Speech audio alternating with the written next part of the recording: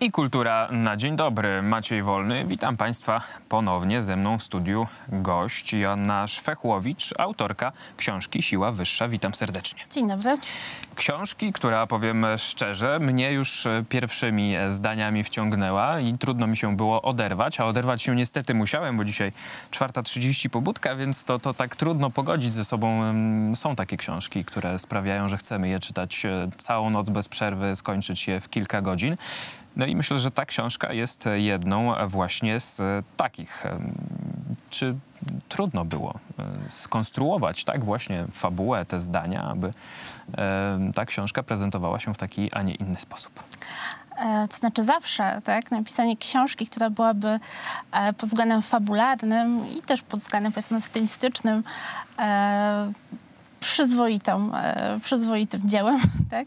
E, czy przyzwoitym kryminałem, no wymaga pewnej E, wymaga pewnej pracy, ale rzeczywiście jestem bardzo dumna z tych pierwszych zdań, które przykuwają uwagę czytelnika, bo są też jakby sygnałem, że chodzi nie tylko o kryminał, tak, nie tylko o samą intrygę, fabułę, ale też o spojrzenie, tak, spojrzenie na Kościół, przynajmniej dwa spojrzenia, tak, które są tutaj dosyć silnie zaznaczone. No właśnie i tu już pojawiają się dwie główne postaci tej książki, dwie które tak naprawdę są bardzo ze sobą, e, różnią się między sobą w bardzo zdecydowany sposób. Ojciec e, Herbst i ojciec e, Myszkowski dwie osoby o bardzo różnych poglądach, podejściu do życia i to również wciąga. Czy taki był też cel tak, właśnie, tak. aby te osoby były ze sobą tak kontrastujące?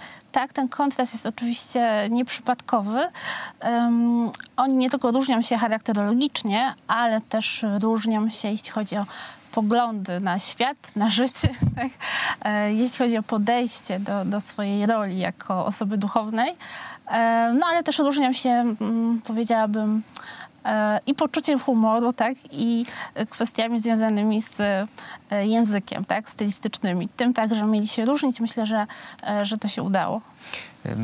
Ja przynajmniej tak e, z początku tej książki i tych e, zaprezentowania tych postaci bardziej e, polubiłem ojca Myszkowskiego i czy to również taki celowy zabieg? Jest wiele osób, które bardziej polubiły e, ojca Herbsta, tak?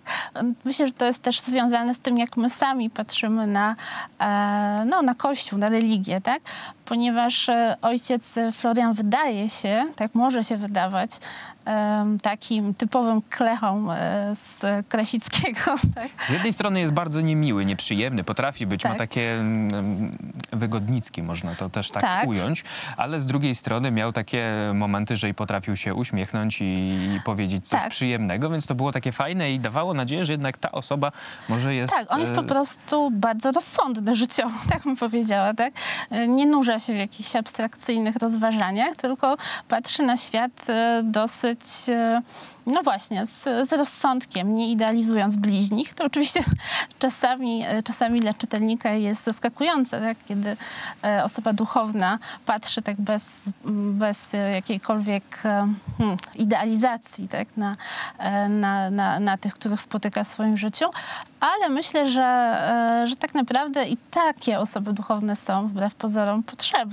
Tak? On jest po prostu troszeczkę, troszeczkę inny. Na pewno nie jest takim E, dzisiejszym, nowoczesnym księdzem, tak? z całą pewnością. No właśnie, główni bohaterowie to zakonnicy i również nie, ide nie idealizowała pani Kościoła już w tych e, pierwszych e, zdaniach. Po, pojawia się wiele takich kontrowersyjnych pojawia się. To jest, sytuacji. Tak, to, to się wydaje bardziej kontrowersyjne niż... Jest w rzeczywistości. Tak, tak, czyli rozwiązanie fabularne z całą pewnością może być zaskakujące dla kogoś, kto oczekuje jakiejś, jakiejś satyry czy jakiegoś bardzo krytycznego podejścia do Kościoła. No i ja nie mogę niestety powiedzieć, jakie ono jest, ponieważ to jest kryminał. W kryminale prawda, najważniejszą rzeczą jednak jest pewne rozwiązanie. Narastające zagadki. napięcie. tak jest. Tak, domyślanie się tego, kto, dlaczego, po co e, i tak dalej. A mm, właśnie ta książka sprawia to, że chce się tego człowiek dowiedzieć, nie może się od niej oderwać.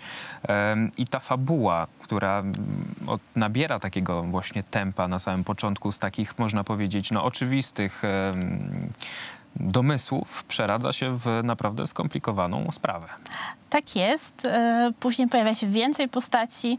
No nie należy się obawiać. Historia nie opiera się tylko na rozważaniach o roli Kościoła. Tak? Pojawiają się też postaci e, no, z różnych e, ziem, tak bym powiedziała, tej międzywojennej Rzeczpospolitej, które spotykają się w Krynicy, a więc mamy takie środowisko uzdrowiskowe, które sprzyja zawsze intrygom, różnego typu, różnego typu romansom, tajemnicom i tak dalej. I tam właśnie się znajdujemy. Znajdujemy się w, e, w pensjonacie w Krynicy. Dzisiaj mówimy o Krynicy Głockiej. W międzywojniu to było oczywiste, że to jest po prostu ta Krynica, tak?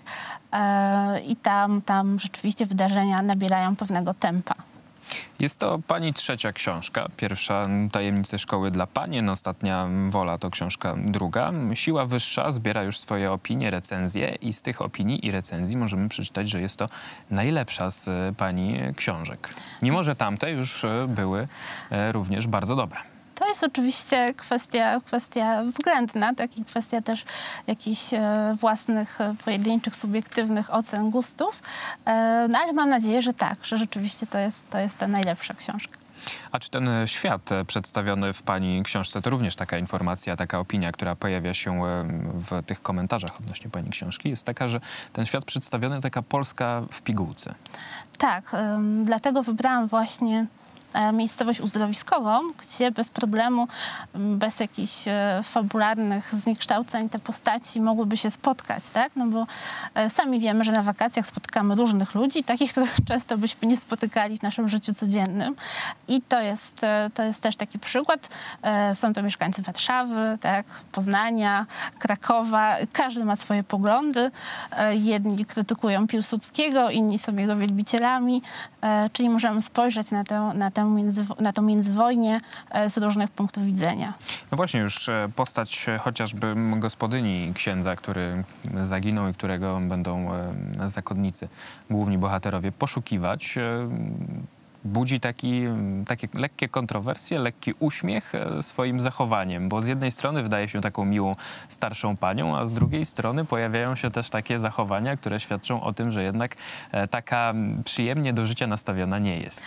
Tak, głównie jest zainteresowana tym, co z nią będzie, jeśli ten ksiądz się nie znajdzie. Tak naprawdę, choć początkowo spotykamy tak sympatyczną e, gospodynię, starszą panią, która powinna w nas budzić ciepłe uczucia, pokazuje ona swoją drugą, e, drugą twarz i okazuje się, że nie jest to osoba, e, osoba, z którą byśmy się chcieli zaprzyjaźnić, tak bym powiedziała. Rzeczywiście.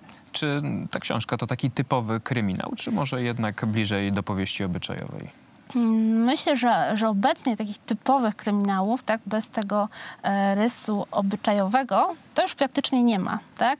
Czyli em, takich starych, starych powieści w stylu Agaty Christie, gdzie przede wszystkim no, liczy, się ta, e, liczy się ta intryga kryminalna, e, to, to dzisiaj jest już niewiele, tak? Zawsze ten rys obyczajowy jest i mile widziany e, i w jakiś sposób potrzebny, zwłaszcza w kryminałach retro, gdzie te postaci prawda, muszą mieć jakąś historię, muszą się jakoś ubierać, muszą się jakoś zachowywać w ramach swojej epoki.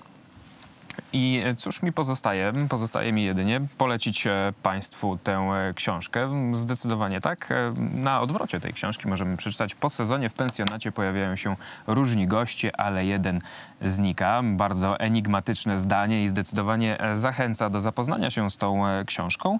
A cóż może do pa- Państwa zachęcić więcej do tego, aby tę książkę przeczytać, nabyć? Myślę, że tytuł tej książki mówi sam za siebie. Siła wyższa Siła po prostu. wyższa. Siła Wyższa. Jo Joanna Szwechłowicz, autorka książki Siła Wyższa, była moim Państwa gościem w kulturze. Na dzień dobry. Bardzo serdecznie Dziękuję dziękuję i życzę wszystkiego, wszystkiego dobrego. A Państwa zapraszam do pozostania z nami.